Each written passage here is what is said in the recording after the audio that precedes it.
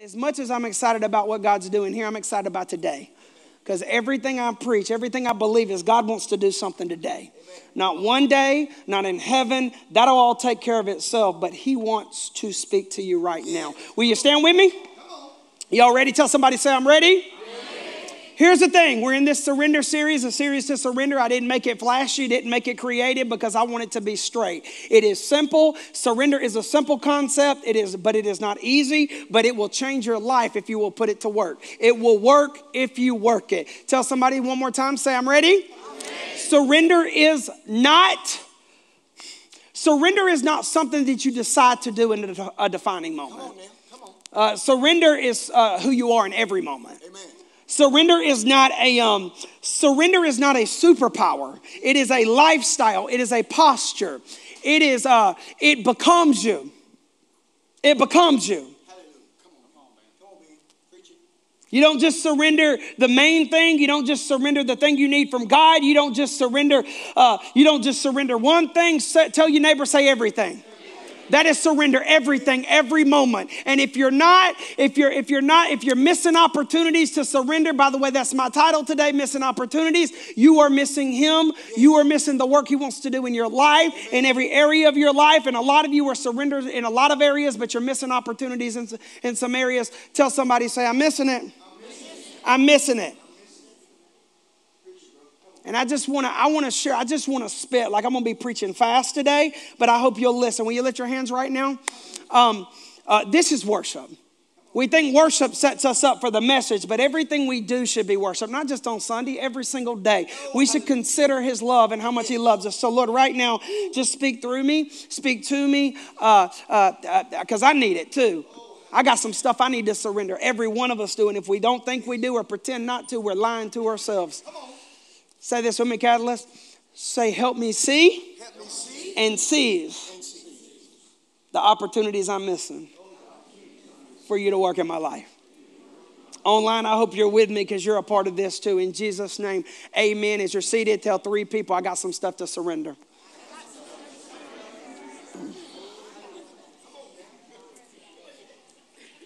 I love it. I love it. I love it.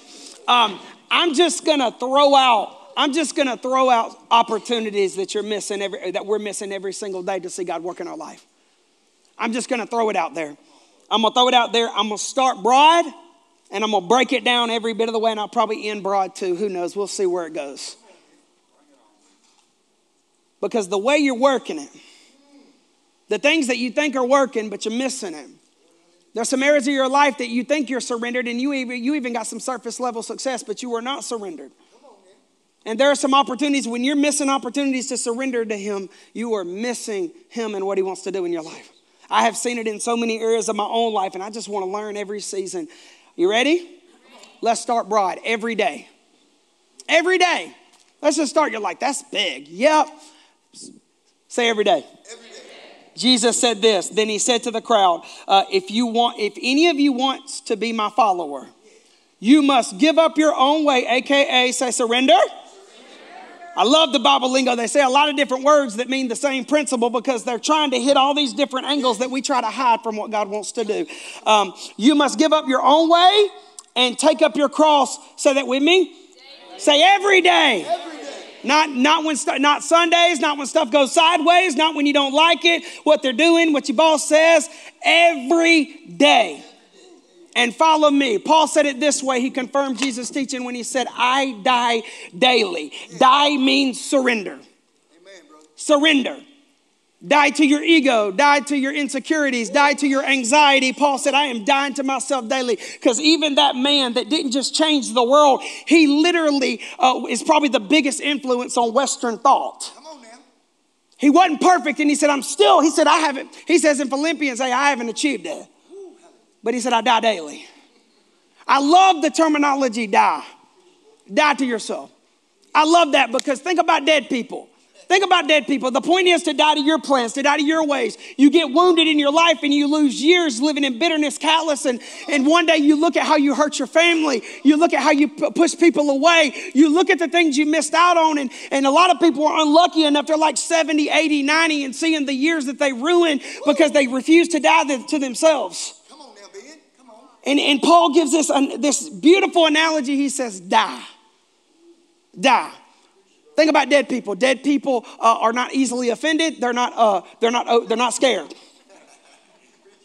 They're not scared. They, they do not manipulate and cling to control in every relationship and situation. They do not try to one up everybody. They do not, they do not try to one up everybody. They're not entitled. Dead people aren't entitled. Dead people, uh, dead people aren't, don't embellish and dramatize everything. Uh, dead people don't remind you of all they did for you all the time because they want to push their way on you.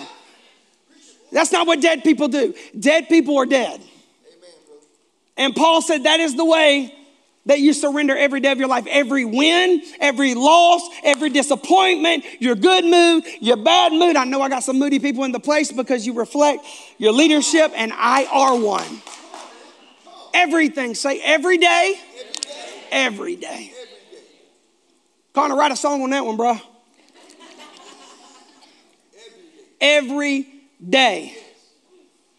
For the rest of this message, when I point to you, because I can already tell it's a sleepy crowd, so we're gonna wake you up. I'm gonna point to you. You're gonna say missing, say, say I'm missing opportunities. Actually, no, say I'm. Don't look at your neighbor. Wake it up. You're missing opportunities every single day. You think this, you're, you're waiting for this big moment to surrender to God, and God is waiting for you to surrender every moment, and He will change your life, and He will show you a reference that is so much bigger than the perspective and the patterns you've been living in. But first, you got to begin to surrender every day, every moment. And you're missing Him because of it. And you're missing Him because of it. Now, let's break it down a little bit. Let's bring it down a little bit. When you're stressed, anxiety, all these things I love the Bible. These guys died brutal deaths writing this stuff. They were egocentric. It was an archaic time, but these jokers, as best they knew how, they practiced these things. Peter says, Humble yourselves, aka surrender. Therefore, under God's mighty hand, that he may lift you up in due time. Cast all your anxiety, say all. Get extra. I'm giving you permission to be extra so you aren't extra this afternoon. Say all. all Cast all your anxiety on him because he cares for you. One of the things about anxiety is anxiety, the chemical imbalance, and all that stuff. Here's how it happens. At some point in your life, you had a traumatic moment. That traumatic moments don't just happen in war. Some people get traumatized by their dog dying. I'm not even gonna crack jokes today because y'all heard them enough. I don't know, but but you love pets more than people, and I'm gonna tell you, some days I do too, and that's saying a lot. Um, I digress so bad. What happens is you have a traumatizing moment in your life and, and, and you have anxiety because whether it was mis- something that was done to you, something you did, something you regret, something that was really hard, a tragedy. Uh, I, I could go on. You know, you know what it's like to hurt, right? We all hurt the same. And so what happens is you get these, you can be in a, because when you have anxiety in your life, you can be in a room, you can have a beautiful family, you can have a beautiful life, you can have a beautiful, a wonderful job. And you can, anything can trigger whatever hits that spot of what happened to you 10 days ago, 10 years ago, when you were a child, before your memory even starts.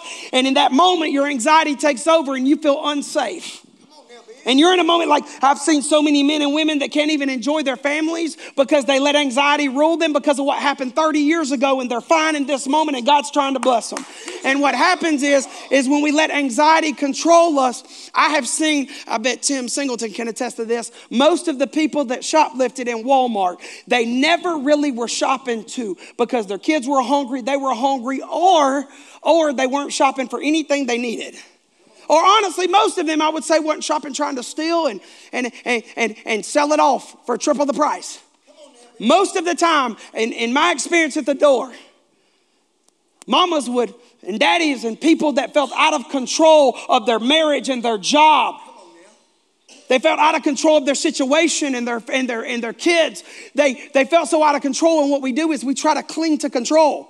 That's what anxiety does when you shut down in a room. You just don't want to look at anybody or deal with anything. And what happens is that's just as bad as flipping out and overcompensating in a room because whether you push people away or never really get to enjoy people, you're still getting robbed. Come on now, man. Come on. And so what happens is we people want to just cling for control. So I have seen people that don't play tennis, they play tennis about as much as me, still tennis balls. Because they feel so out of control, they want to control something. I've seen single mothers and, and dads too over the years at Walmart at that door steal socks that don't fit them babies and don't fit them either.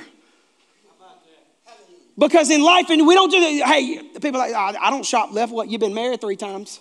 Come on now because you sabotage that relationship because you fight so hard for control because of whatever happened to you. You will not cast your anxiety on him. You cast it on the people who love you. You project it. You've had 17 jobs and, and you burn bridges. You're pissed off, or you just let people run over you and nobody promotes you because that's not strong leadership when you're timid. I don't know what it is, but what happens is we try to control something. And before you know it, you get arrested for shoplifting. You get, you're on your second, you're on your second relationship in the same year. And before you know it, you're in, you're more out of control than you were because you keep trying to grasp. You want to feel worthy. You want to feel in control. And Peter says, humble yourself under his mighty hand and he will lift you up in due time. Cast all your anxiety on him. Surrender it. Surrender it. It, I know that sounds simple, and it, it, really isn't. It's, it is that simple. It's just not easy, and it doesn't happen overnight. It does not happen overnight. You walk into a room, you walk into a room, and uh, you just freak out because you don't feel worthy to be in the room. You don't feel worthy to be in the board meeting. You, you feel too dumb to contribute to whatever they're meeting about. Uh, I mean, I mean, you um you don't think you can handle the job, or you don't think you'll get the job, and then you get the job and you don't think you can handle it, so you mess around and sabotage something that God gave you because you are the person for the job. You are the parent of your child. Don't you waste those years. God made you their mama and daddy. Come on. And what happens is we let anxiety control us and control us and control us and control us. And before we know it, we are so far out of control because we keep trying to cling to it instead of surrender our anxiety to Him. Can't even talk to girls or guys, whatever. You're like, I, I was that guy, man. I was that guy. You know, people always say, well, you just never got a girl interested till you got Angie. Well, the thing is, I never talked to anybody because you put a female around me. I was like in the movies. Uh, you get me on the stage in a room, I can work it, but you get a female one on one, I don't eat, I don't talk. I mean, I mean, it's bad. Anxiety, man, but you know the difference in my anxiety now versus one, two, ten, Pick your feature. I still got it. Come on now. You don't go through uh, you don't go through what I've been through and not have anxiety. Right. Preach it, boy. I still got that crippling anxiety. I got him. I still get this. I still get here. But here's the difference in my life now. I don't I don't live here anymore. I live here so when this happens, I know it's not going to last forever. And I also have learned my limitations because I don't live here. So this is just where I live. I live here.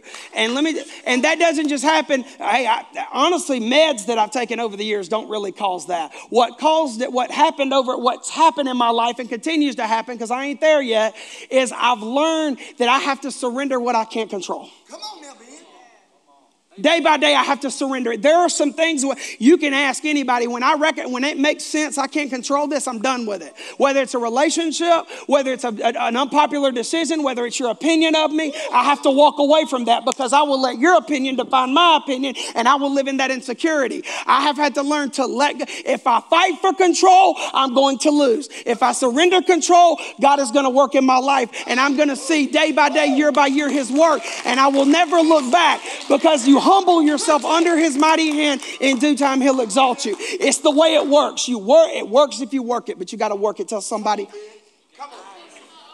And you're missing him because of it. That's where peace is found, y'all. That's where healing is found. That's where wholeness is found in your life.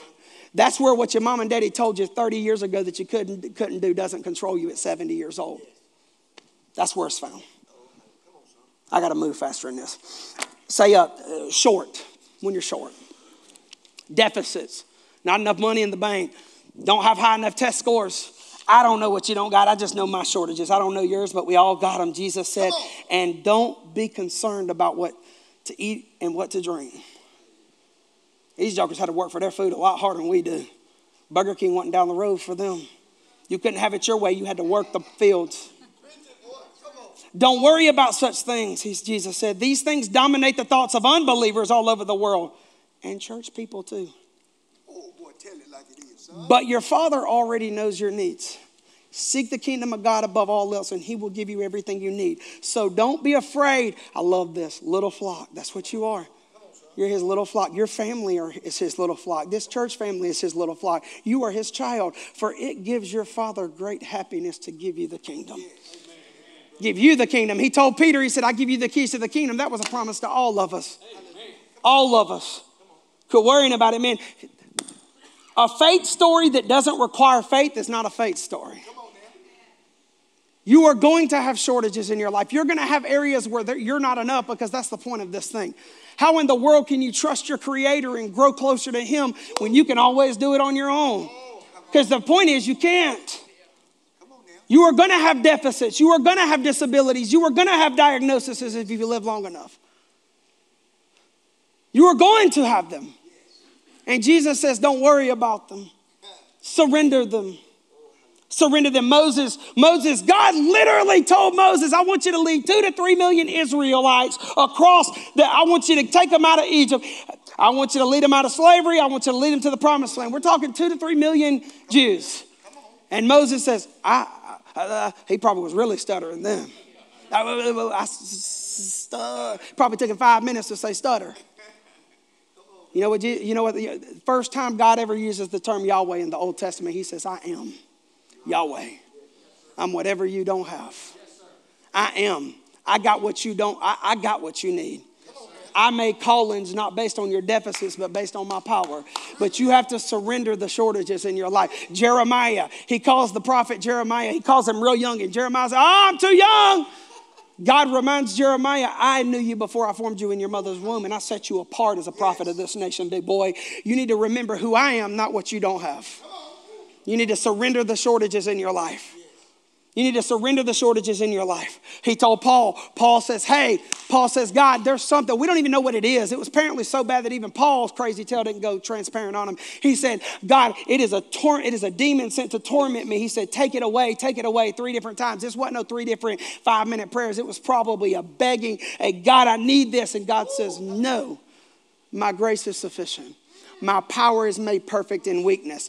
Ben Bonner, my power is made perfect in your Tourette's, in your all these other things that you've had, these shortages. Your, his power is made perfect in, the, in your divorces that you've been through. If you will begin to surrender what you don't have and how set back you are, His power is made perfect in your criminal record. His power is made perfect. I don't care what you don't have. I don't care what you need from God. I, how traumatized you are, how you're thinking about ending your life today because you bought into a lie that you don't have enough to live for, that the best is behind you. I'm telling you, He raised, the Father raised Jesus to life because that's our story. But you have to surrender what you don't have. God, I don't have it, but I'm gonna move forward anyway. I don't know what it's gonna look like or what it can look like to get out of debt, but I'm gonna move forward anyway. I'm gonna try to spend my money better next week than I did this week. You have to surrender your shortages. You have to surrender them. Bible says we're overcomers by the blood of the Lamb and the word, the power of our testimony. The power of it. And there is no faith story when there's no faith required. And you have to surrender it. And there's some opportunities you're missing to surrender. Paul told the most dysfunctional church in the New Testament, Corinth, they were really messed up. We only see two letters. He wrote like four for sure. He says, You have everything you need as you eagerly wait the return of the Lord. His church gave him headaches, probably hernias too. And he says, You have everything you need. It's just time for you to surrender it, what you don't have. Y'all got to do better now. There were times we were running half this many people were louder than y'all. Can y'all actually act like you believe it? And you're missing him because of it. You're missing him because of it. Let's move on. The impossible. It's kind of related, but I told you I'm going to break it down. I'm going to break it down. The impossible, man. There's some things that you think the best is behind you. You don't think it can ever be this way because you're looking in your natural eyes. Bible says what is seen is temporary, what is unseen is eternal. In other words, the impossible that God wants to do in your life, you ain't going to see it right now. Jesus said, Jesus replied, What is impossible with man is possible with God if it's impossible. I'm gonna tell y'all, I get concerned now. I know I stress out. You can tell the staff sometimes, I'm like, hey, simmer down. But I honestly get concerned now when there's not situations of great challenge when it makes sense. I get concerned when everything's running a little bit too smooth.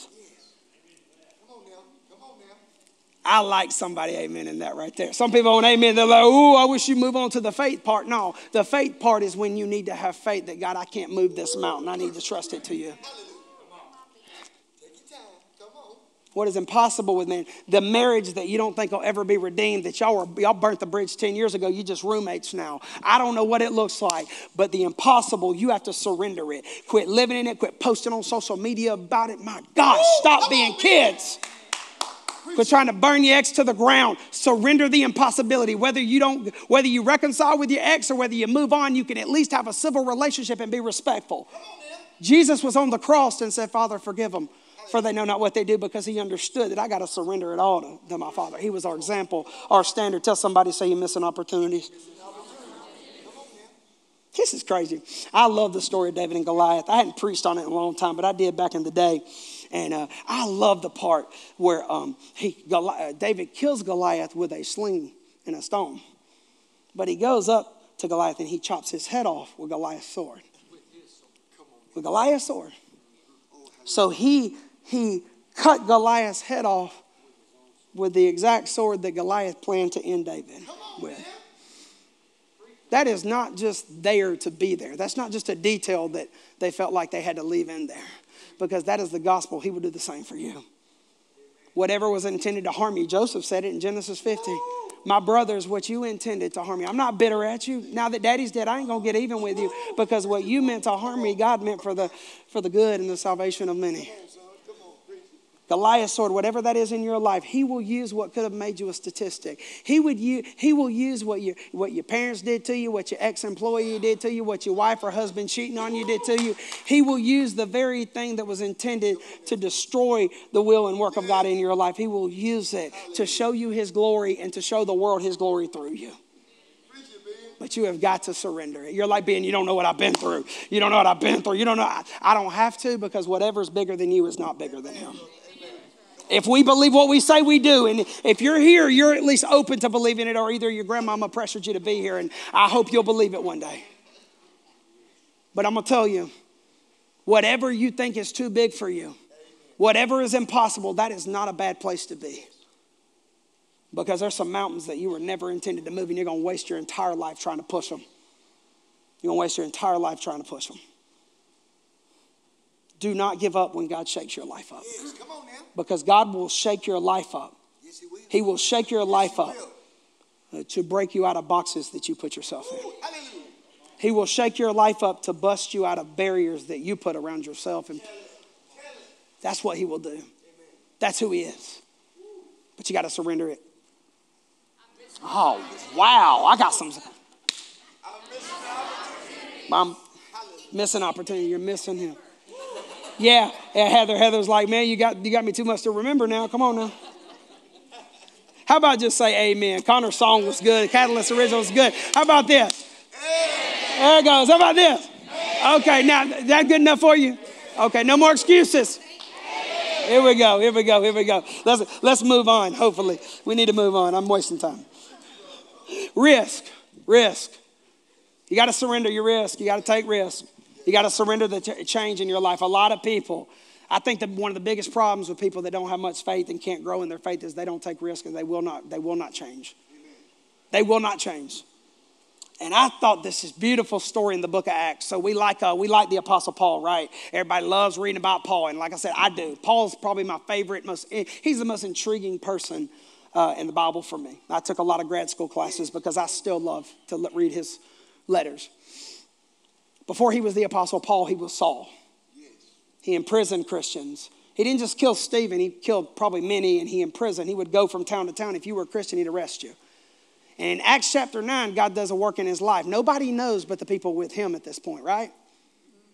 He gets knocked off his donkey and going to Damascus. He gets blinded. Jesus himself, we know Jesus was the one to do it, even though he had already ascended.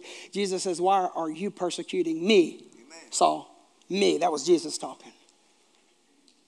So he has to go hide out in Damascus because the man can't see. The man got knocked off his donkey. He's humbled, right? Nobody else knows it. Everybody else in Damascus are a bunch of Christians that think, man, he arrested my brother, my friend. He killed Stephen, had the first mark. I'm like, the guy is dangerous. Watch this.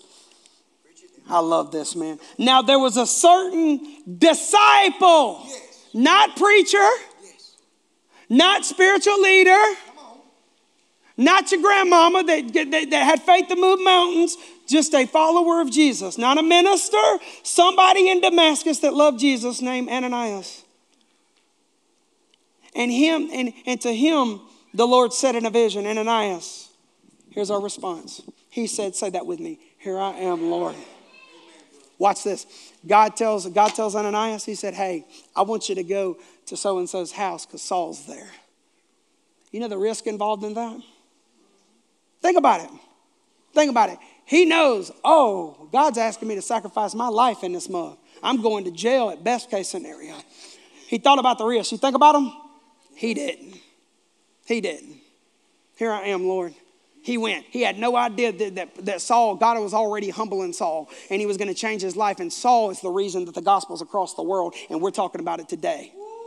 Paul because one man, and he went, and Ananias is the one that led the Apostle Paul in the baptism of the Holy Spirit. He is the one that laid hands on him, and Paul didn't just accept Jesus, he received the Holy Spirit, and that man changed the game for the entire world. One man, not a preacher, not a preacher, a man who says, Here I am, Lord. I just live in Damascus, and that's where God chose to knock Saul off his donkey. No risk. I ain't thinking about risk. He says, Here I am, Lord. I'm just, this ain't prophecy, this is common sense scripture. Principles, this is gospel. And all of us need to hear it. I need to hear it. You will not see the goodness and glory of the Lord in this life the way God intends you, fighting change and not taking risk. I tell everybody I love you better, you better learn to take risk. You better learn to step out in faith. You better learn to risk the things that you know you need to risk and quit trying to go inward and hold back. You will not see his glory. You will not see. You may live a good life, but it will be surface. You will, you will live what everybody's told you you're supposed to do. You may get a lot of money, but it won't matter that much and it won't be enough. We live in a culture, it is easy. Uh, the Bible says, uh, if any man be in Christ, he's a new creature. The old is gone, the new is come. What we do, we like to cling to predictable and old. We want to stay in the things that make us comfortable because we don't want to risk uh, losing money, peace. We don't want to risk getting hurt. And I'm telling you, you, if you don't do like Ananias and when God speaks something or puts something in your heart, a desire, or when your spouse or when and people you love are challenging you and pushing you out of those boundaries that you placed on yourself that God never commanded and is not. I'm telling you, if you don't begin to put some boundaries and take some risk, if you don't begin to be generous with your life, not just your money, everything, and you don't begin to push yourself to change, you're going to stay on the same pay grades. You may stay in jobs four decades longer than God intended you to stay there. You will stay in places and mindsets. You will stay, and they may not be bad, but they are not for you forever. You will stay in friendships. You will stay in, you will stay in old that God wanted you to break out of when you were 25 and you're 70, still living, not to change and to fight things, and you were fighting God when you're fighting change. Ananias said, Here I am, Lord. On, and you know what? He didn't just say it, he backed it up. It's easy to raise your hands, come to the altar, but what about when it's time to make a move? That's surrender. Tell somebody, oh, here we go. Amen. Yeah, I almost forgot. Amen. You're missing him when you're missing opportunities. You're missing him. You will miss out on big moments, big opportunities by being wide open doors and opportunities, by being unopen to change and to taking risks.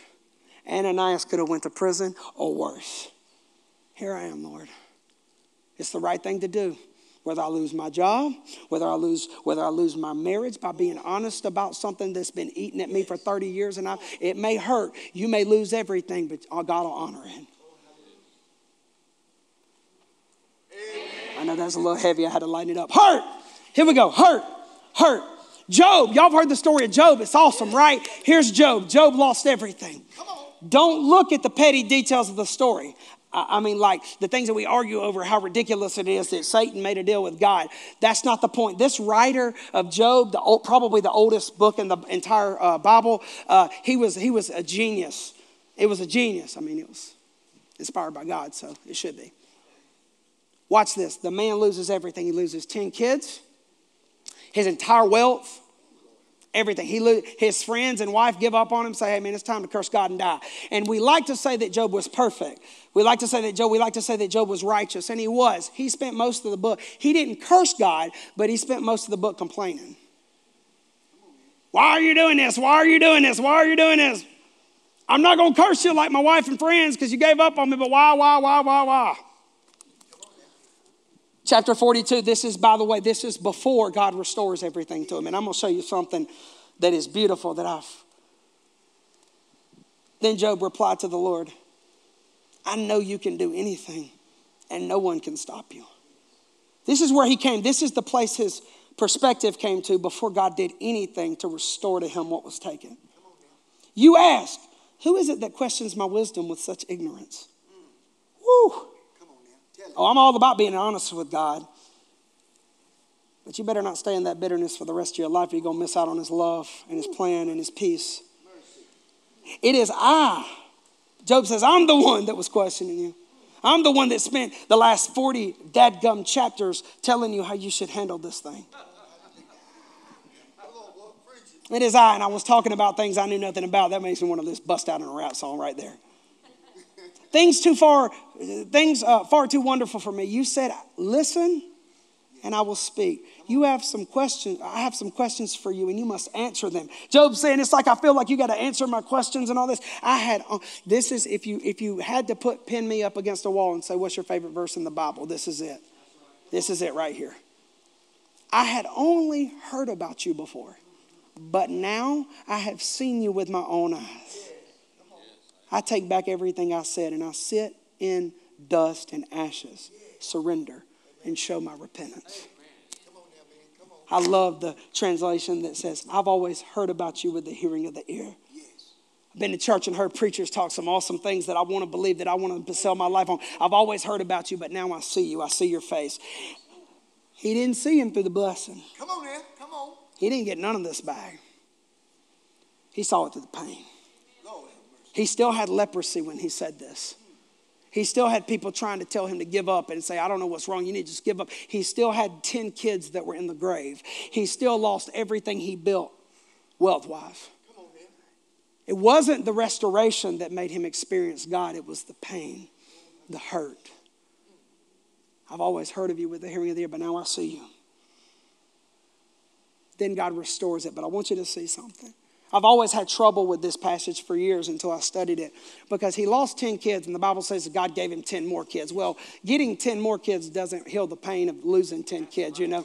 But when you look at it, most scholars believe, many scholars believe that God didn't give him new kids, he actually raised his kids. Is that not the gospel? Well, somebody, I hear you. I'm just glad you're here, my man. That joker's like, Zach doggone getting busting it on the kids' ministry building. Hey, you do your thing. Silence it now because I got ADD, but do your thing. I love you, Zach Young. Okay, uh, where was I? Oh, yeah. Isn't that the gospel? Come on. Yep. To raise you to life. He wants to raise some things inside of you. He wants to restore years. He wants to restore families. He wants to redeem marriages. He wants to bring, he promises he'll bring beauty for ashes. Come on, man. But you better surrender the ashes. You better surrender the pain, the person, the past. And if you don't begin to surrender it, Job, this is before he got anything back. He's living in trauma. That's all he's doing. He's living in terror, and he says, I've always heard of you. He says, he says, the Bible says he, he, he shrunk down in worship and he just said, Look, I, I, I trust in you. You don't have to keep bleeding. You choose to keep bleeding. You don't have to keep bleeding. You better surrender the hurt. I don't. It doesn't matter the details of your hurt. Who did it? If you did it. If you didn't do anything about it, and everybody else got called in the crossfire. Amen. You're missing opportunities, and you're missing Him. Sin and shame. Sin and shame. Sin and shame. Your mistakes. Whatever. John said, "If we say we have no sin, and we are fooling ourselves, and the truth is not in us." But if we confess our sins, He will forgive our sins because we can trust God to do what is right. He will cleanse us from all the wrongs we have done. Say this with me. If we have, if we say that, let me just read it, I messed that up. If we say we have not sinned, in other words, if we don't surrender, we make God a liar and we do not accept his teaching. We don't really trust him. We don't really trust him. Surrender your mistakes. So, Adam and Eve, we love to, people like to make foolishness of the principles of Adam and Eve. I'm gonna tell y'all, we are Adam and Eve all day. We just got better looking leaves to cover up now. We, we, you know, you don't get, you don't, you don't learn to get a little more tricky and sneaky living several thousand years as human race. Oh, we cover up. We do. We, we love to keep secrets, to hold people in the dark that we love. We love, we love to project and pretend. We love to self deprecate and self sabotage. We, we do. We love to crap on everybody or stay away from everybody and live as a recluse in our house and watch church online because it's too much to come to church and risk getting hurt again. We cover up. We love to act like we love to use our money, our resources, our good kids that we think we can at least say, Well, I raised good kids. No, God raised good kids. He just used you as a vessel, and you need to recognize your kids ain't good because of you, they're good because of their creator. We cover up. We just got a little better than Adam and Eve. Got a little better. And John says, uh You confess him. You open your heart to him. You don't hide it. You don't hide it. You need to quit running and projecting. You need to quit pretending that you don't make mistakes or make lesser mistakes than your neighbor. You need to stop. Jesus forgave you 2,000 years ago, but your problem is you won't forgive yourself. It is so sad that you can't look in the mirror sober because of your own sin and shame. You know what the gospel is? If you'll surrender it, He'll make your mistakes prosper.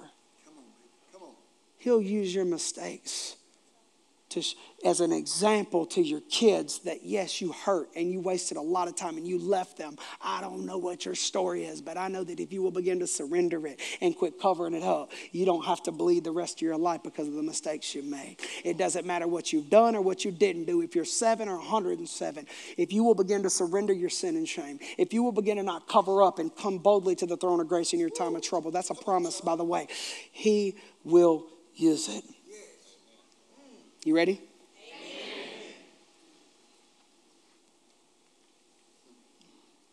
Victories. I want to spend the last few minutes on the good things. Victories. Because I'm telling you, I've been able to experience a lot of good things in my life, and I've actually lived long enough that I'd appreciate them and surrender those too. James, brother of Jesus, said, Every good gift and perfect gift comes from above. Not from you, not from your hard work and grind, not from your faithfulness, from a faithful God. These gifts come down from the Father, the creator of the heavenly lights, in whose character there is no change at all.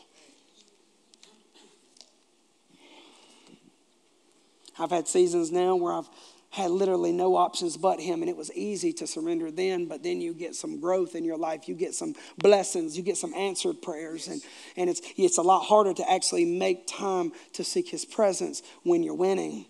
The mountaintops are the times that you have to be careful because God will bless you. He will answer your prayers. And what you do on the mountaintop says, will show you your heart. What you do when what you do with the what you do with the respect and the money and the support that you're getting that you didn't once get. What you do with it. What do you do with it? You got a you got a wife and kids. You got more than anyone could ever ask for in a wife, a child, a job, a career, finances. You got more than anybody could ever want. Do you appreciate it or do you take it for granted? Do you seek Him or do you think you're, you've arrived? And it's not just something you say, it's a lifestyle you live. Don't you forget the bottom when you get to the top. Come on. Preach it, son. Don't you forget the bottom. Don't you forget who got you to the top. Don't you think that, don't forget where you came from. Don't forget what you had to go through and what God did for you because it's easy to remember. It's easy, y'all. I've lived long enough to think that I, to think a little bit more than I should have that I had something to do with it. I could be dead if it wasn't for God's protection. And don't you forget it. Surrender your victories. You're missing opportunities, and when you're missing opportunities, you're missing Him. Amen. Surrender the victories. Surrender the victories. Don't worship what God, what, you, what, what God gave you or what you wanted to give you, man. Surrender. Your greatest blessings, your greatest blessings Man, Abraham waited an entire century. An entire century, he waited for a baby. Because back then, having a son was a big deal as they were propagating and filling the earth. He waited and he got his son. He got his blessing, right? Greatest blessing. He laughed at God. God, I'm too old for this mess. God's like, no, you better go play some Marvin Gaye and, and get to business because I got some for you. Anybody my age or younger is like, I don't know what he's talking about. That's all right. I, I feel bad for you, but it's all right. Um, watch this. Sometime later, this is after the blessing.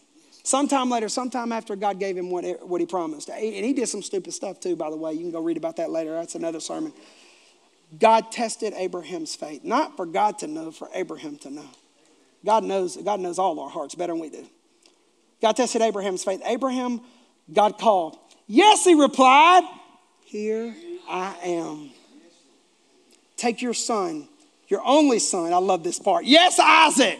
Because you know he had he had Ishmael by a side check. He's like, no, I'm talking about the one you, the one you really, I'm talking about the where it really hurts.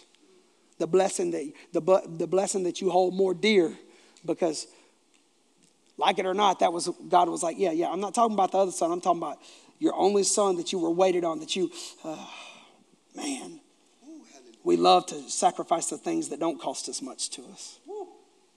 Whom you love so much, and go to the land of Moriah. Go sacrifice him as a burnt offering on one of the mountains, which I will show you. This ain't no hour and a half trip to Stone Mountain. This is him and his boy getting their final moments together as far as he knew. Because what, and it didn't make a lick of sense. But he had a reference that God did this for me, and I can't, I can't, I can't hold back what God I wouldn't have if it weren't for him. Complete surrender. He's walking, talking for probably a long trip, going knowing that he's going to tie that man up and he's going to kill him a burnt offering to the Lord. It may sound ridiculous, but God, he, he said, Do you trust me? And of course, it was a test. And we know that thousands of years later, Abraham just isn't just the father of the Jewish faith, he's the father of our faith, Paul said. Because God trusted Abraham and Abraham trusted God. God said, I know your heart, big boy. I surrender. Quit trying to save your kids and surrender them. I'm learning this every day with my own. They're wonderful, but there's some things that I have to really, I'm trying. I got no filter as I get older, and I'm trying to hold it in. Like they're going to learn some lessons the way you learned them because that's the only way they, re- they can learn them, and that's okay. Surrender your kids. Quit trying to smother them and save them. Surrender your spouse. Surrender your gifts and ability because God gave them to you, and you need to trust Him with them. Surrender them. I don't know what it is, but you need to surrender them.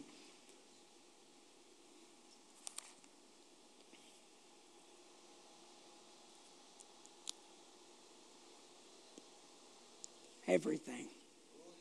Everything. You're everything. Yourself. That's what I want to finish up on. Yourself. Band, you can go ahead and come, come on up. Get ready. Yourself. Stay focused with me right now. I'm almost done. Jesus was sweating drops of blood. He's our example. You want to you want to be raised to life in your situation the way he was. He's our example. Jesus was sweating drops of blood in the Garden of Gethsemane. Such stress, such stress. We know that's a scientific thing now. Father, if there's any other way, he was stressed out. I'm about to, and I'm about to deal with a suffering that is way more than just the execution on a cross or the beating that I'm going to take with the cat and nine tails. He said. If there's any other way, not my will, but yours be done. But I love this. He's on a cross, hung on that, hung on the cross for hours. And he had his moments, he had his emotions where he said, My God, my God, why have you forsaken me? He was honest. People like to say, well, Jesus was an atheist for a second. Yes, he was, but then he reeled back into who he was. Surrender. In Luke 23, Jesus cried out in a loud voice, Father, I give you my life. After Jesus said this, he died. He died. Complete surrender. Father, why have you forsaken me? I don't feel you right now. I don't feel you in this tragedy. I don't understand why I've lost everything and why I keep being a punching bag and why I can't catch a break. But I give you my life. I give you my life. I give you my life. See, a lot of you love Jesus, but you're not committed to him. Some of you, you need to commit yourself to loving Him because he will, His love will change your life. You love Jesus, but you're not committed to Him. Just like you love your family, but you're not nearly as committed and invested in them as you should be in this season, too. You can love them and not be there for them the way you need to be. It's the same with God in any relationship. You're missing opportunities and you're missing Him. You're missing His work in your life and your family. You're missing moments that God wants to invest in you. You're missing opportunities that He could show you His glory if you would take steps forward and say, God, I, I, need to have this conversation. I need to do this. I need to spend my money differently. I need to invest in my family differently. I need to get away from some things that I've been carrying. I don't know what it is, but you're missing opportunities. And when you're missing opportunities, you're missing Him. And you need to begin to surrender yourself.